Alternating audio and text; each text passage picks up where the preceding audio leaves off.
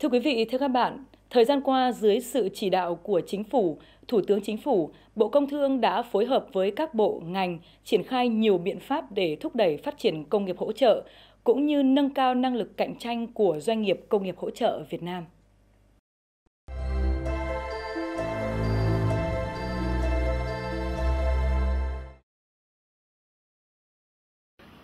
Công nghiệp hỗ trợ là các ngành công nghiệp sản xuất nguyên vật liệu, phụ kiện, phụ tùng linh kiện, bán thành phẩm để cung cấp cho ngành công nghiệp sản xuất, chế biến, lắp ráp các sản phẩm hoàn chỉnh, tư liệu sản xuất hoặc sản phẩm tiêu dùng.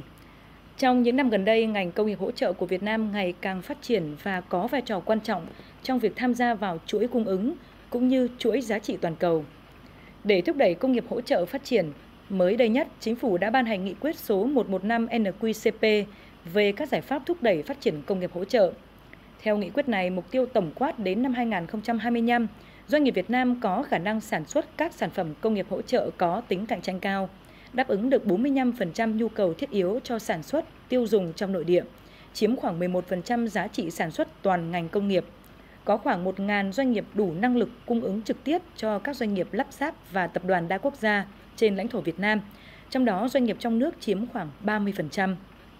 đối với mục tiêu cụ thể trong lĩnh vực linh kiện phụ tùng sẽ phát triển linh kiện phụ tùng kim loại, linh kiện phụ tùng nhựa, cao su và các linh kiện phụ tùng điện, điện tử đáp ứng mục tiêu đến hết năm 2025 cung ứng được khoảng 45% nhu cầu sản phẩm linh kiện phụ tùng cho các ngành công nghiệp trên lãnh thổ Việt Nam.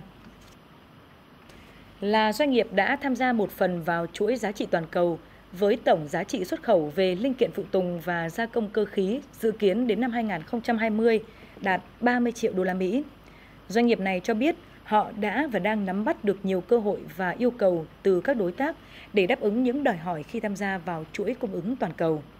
Hiện tại là cái cái xu hướng chuyển dịch của các cái cái cái đầu tư từ các doanh nghiệp à, nước ngoài đầu tư vào Trung Quốc thì sẽ chuyển dịch sang các nước ASEAN và đặc biệt tầm trong vào Indonesia và Việt Nam. Thì trong đó là à, chúng tôi thấy là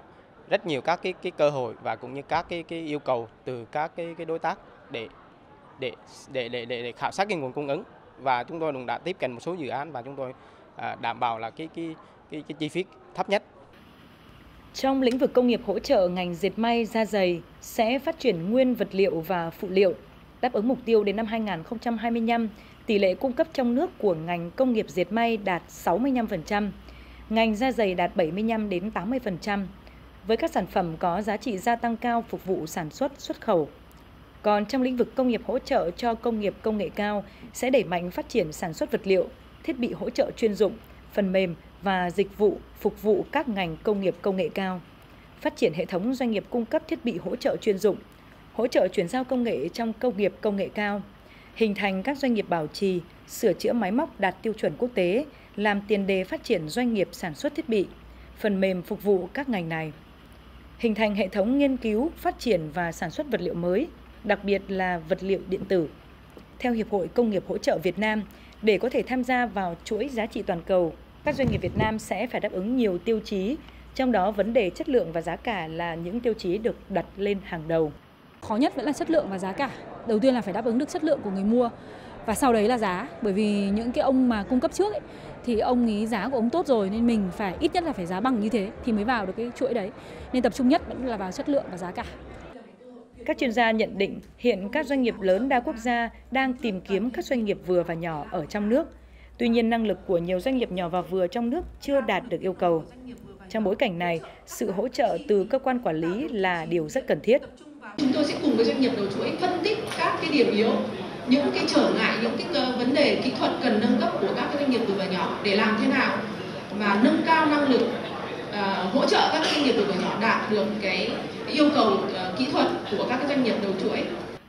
Trong cơ cấu ngành kinh tế của Việt Nam, ngành công nghiệp hỗ trợ luôn giữ vai trò quan trọng,